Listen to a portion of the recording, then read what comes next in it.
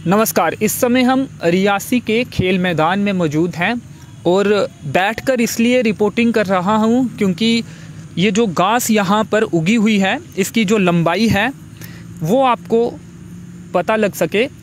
ये आप देख सकते हैं जो मैदान से कितनी ऊपर ये घास उगी हुई है और टाइटल में हमने एक फीट के करीब जो घास है, उसका ज़िक्र किया है और उससे भी ज़्यादा यहाँ पर देख सकते हैं। ये घास जो है, इसकी ऊंचाई है। ऐसे में यहाँ पर जो खिलाड़ी हैं, कैसे खेल पाएँगे, ये इस समय हम आपको बता दें, उस तरफ़ की भी तस्वीरें आपको दिखाने की कोशिश करेंगे। वहाँ पर ज़्यादातर जो हिस्सा है, वो ठीक है, वहाँ पर इतनी ऊंचाई घास की नहीं है। लेकिन जिस हिस्से में, इस समय मैदान के मैं मौजूद हूँ, यहाँ पर ज़ाहिर तौर पर आप तस्वीरों पे भी, में भी देख रहे हैं कि एक फीट से भी ज़्यादा ऊंचाई यहाँ पर घास की है। जब रिपोर्टिंग से पहले, इस लाइव से पहले हम यहाँ पर टहल रहे थे तो यहाँ पर चलना भी दुशवार हो रहा था। तो ऐसे में अंदाज़ा लगाया जा सकता है कि खिलाड़ी यहाँ पर कैसे खेल पाएँगे। जब क्रिकेट का अगर मैच होगा, गेंद इस तरफ़ आएगी तो वो इस घास में ही रुक जाएगी। और इसके अलावा भी अगर कुछ और खेल, खिलाड़ी खेल रहे हैं तो इस तरफ़ वो खिलाड़ी नहीं खेल पाएँगे। बहुत से खिलाड़ी इस बारे में पहले हमें जानकारी दे चुके हैं। आज हम यहाँ पर पहुँचे और इससे पहले भी हमने देखा था कि एक स्टोरी हमने उस तरफ़ से की थी जो कि कबड्डी का कोर्ट है और वहाँ पर भी मुकेश शर्मा जी की याद में दिवाली के दिन दिए जलाए गए थे और उस दौरान आपको बता दें कि कोर्ट को साफ़ करना पड़ा था क्योंकि काफ़ी ऊँची घास उगी हुई थी और साफ़ किया गया था।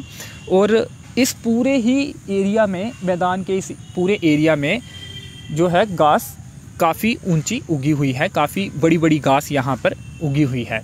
तो ऐसे में खिलाड़ी कैसे खेलेंगे और समस्याएँ क्या क्या पैदा होती हैं वो आपको बता दें।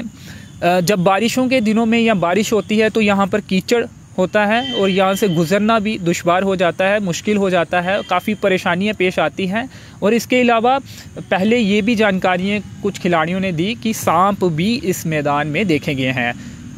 यहाँ पर अगर कोई क्रिकेट मैच के दौरान कोई खिलाड़ी फील्डिंग कर रहा होगा, वैसे तो गेंद यहाँ पर अपने आप ही रुक जाती है। तो उस दौरान अगर कोई सांप काट जाएगा तो कौन जिम्मेवार होगा? क्योंकि यहाँ पर दिखेगा भी नहीं और हमें भी नहीं दिख रहा है और काफ़ी ख़तरे से बड़ा ये पूरा इस साइड का जो स्थान है मैदान का, वो है। और कीचड़ रहता है, जब बारिश होती है, ये एक बड़ी समस्या है। इसके साथ ही वो सामने जो शौचालय आप देख रहे हैं, वहाँ भी वो तस्वीरें आपको दिखाने की कोशिश करेंगे। वो शौचालय जूम करके कोशिश करेंगे और वो शौचालय, उस शौचालय की हालत भी अच्छी नहीं है। गंदगी वहाँ पर फैली हुई है और जो पाइप्स हैं उसकी, वो भी टूटी हुई हैं।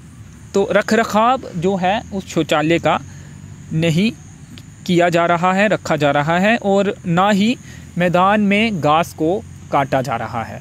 तो ऐसे में जो स्पोर्ट्स काउंसिल है या फिर स्पोर्ट्स अधिकारी है या जिनके भी अंतर्गत, जिनकी भी जिम्मेवारी इस मैदान को सही रखने की बनती है, आखिर वो कहाँ पर है, क्यों सुध नहीं ले रहे, और जो ज़िला प्रशासन है, डीसी रियासी हैं, या फिर और जो जिम्मेवार लोग हैं, वो क्यों सुध नहीं ले रहे, अपनी अकाउंटेबिलिटी को क्यों नहीं समझ रहे, अपनी रिस्पॉन्सिबिलिटी को क्यों नहीं समझ रहे, और क्यों इस मैदान को साफ़ स्वच्छ नहीं रखा जा रहा। अब ये जो घास उगी है, इसमें तो खिलाड़ियों का कोई दोष नहीं है। अब इसमें तो ये नहीं कहा जा सकता कि लोगों का भी स्वच्छ भारत में योगदान होना चाहिए। अब ये घास अगर खिलाड़ी काटेंगे तो वो वक्त खेलने के लिए नहीं निकाल पाएँगे।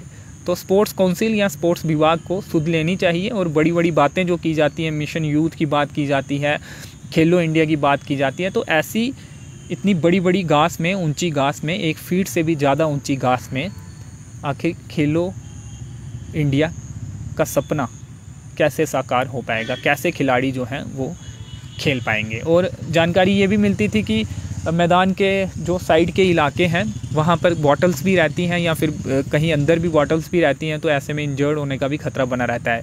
इस मैदान का रख रखाव करता हुआ कोई नहीं दिखता है। किसी व्यक्ति को तैनात किया जाना चाहिए, किसी की जिम्मेवारी होनी चाहिए, ताकि इस मैदान की सुध ली जाए, साफ़ सुथरा इस मैदान को रखा जाए। तमाम खिलाड़ी जो हैं वो यहाँ पर आएँ और अच्छे से खेल सके और रियासी ज़िले से, रियासी शहर से बड़े स्तर पर खिलाड़ी खेल सकें और रियासी शहर का और यहाँ के लोगों का नाम रोशन कर सके। तो साइनिंग ऑफ़ संयम के साथ मुझे दीजिए अनुमति, धन्यवाद।